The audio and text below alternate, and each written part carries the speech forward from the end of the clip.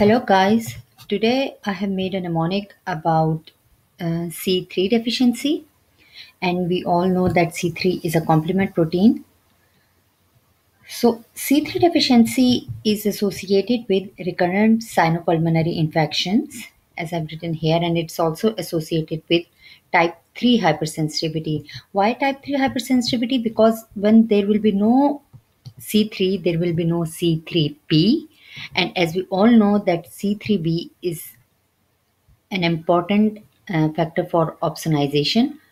So um, uh, when there will be no C3b, the, all the immune complexes like antigen and antibody complexes, they will remain in the body and uh, that will cause type 3 hypersensitivity. Otherwise, C3b will go attach with them and a macrophage or any phagocytic cell will come and eat that up. So C3 deficiency is associated with recurrent sinopulmonary infections and how you can remember it that you can see that I have made a C with big nostrils and a 3 is hanging from his mouth and you can see that I have made holes in the 3 and it resembles like the holes in the lungs.